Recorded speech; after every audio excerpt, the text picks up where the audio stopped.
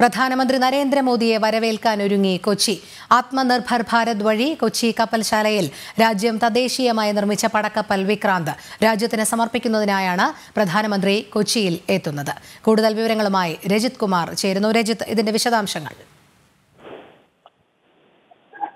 ഒന്നാം തീയതി വൈകിട്ടോടു കൂടിയാണ് പ്രധാനമന്ത്രി നരേന്ദ്രമോദി കൊച്ചിയിൽ എത്തുന്നത് പ്രധാനമായും ആത്മനിർഭർ ഭാരതി ഭാരതി രാജ്യം നിർമ്മിച്ച തദ്ദേശീയമായി നിർമ്മിച്ച Vikrant I N S Vikrant രാജ്യത്തിന് സമർപ്പിക്കുന്ന പരിപാടിയിൽ പങ്കെടുക്കുന്നതിനായി സമർപ്പിക്കുന്നതിനായാണ് അദ്ദേഹം കൊച്ചി ഷിപ്പ്യാർഡിൽ എത്തുന്നത് രണ്ടാം തീയതിയാണ് രണ്ടാം തീയതി രാവിലെയാണ് രാജ്യം തദ്ദേശീയമായി നിർമ്മിച്ച ഏകദേശം ഇരുപത്തി മൂവായിരം കോടി രൂപ ചെലവഴിച്ചുകൊണ്ട് പത്ത് വർഷം രണ്ടായിരത്തി ഒൻപതിൽ രണ്ടായിരത്തി ഒൻപതിലാണ് ഇതിന്റെ നിർമ്മാണ പ്രവർത്തനങ്ങൾ ആരംഭിക്കുന്നത്. ഏകദേശം പതി പന്ത്രണ്ട് വർഷത്തോളം എടുത്തുകൊണ്ടാണ് രാജ്യം തങ്ങളുടെ ഒരു പടുകൂറ്റൻ പടക്കപ്പൽ നിർമ്മിച്ച് നിർമ്മാണം പൂർത്തീകരിക്കുക. അതും കൊച്ചിയിലെ കപ്പൽശാലയിലാണ് ഇതിന്റെ നിർമ്മാണ പ്രവർത്തനങ്ങൾ പൂർത്തീകരിച്ചിരിക്കുന്നത്.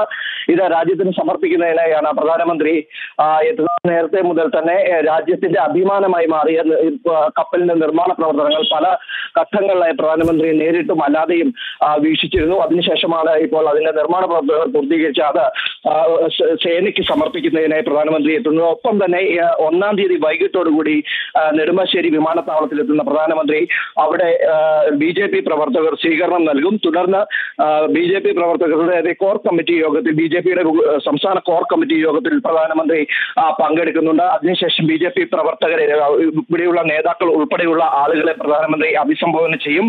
അത് ഒന്നാം തീയതി വൈകിട്ടാണ് ഈ പ്രോഗ്രാം നടക്കുന്നത്. കോർ കമ്മിറ്റി യോഗത്തിന് ശേഷം അയൽനിൽ തന്നെ അതേ ഹോട്ടലിൽ തന്നെയാണ് പ്രധാനമന്ത്രി അന്നത്തെ ദിവസം കഴിയുക. അതിനുശേഷം രണ്ടാം തീയതിയാണ് ഇതിനു മുമ്പ് തന്നെ പ്രധാനമന്ത്രി ശൃംഗേരി മഠത്തിൽ കാലടി ശൃംഗേരി മഠത്തിലും സന്ദർശനം നടത്തുന്നുണ്ട് വിവരമുണ്ട്. ഇത് സംബന്ധിച്ച് ഇത് സംബന്ധിച്ചുള്ള ശരി രജിത്ത്. കൊച്ചിയിൽ നിന്നും രജിത് കുമാറാണ് വിവരങ്ങൾ നൽകിയത്.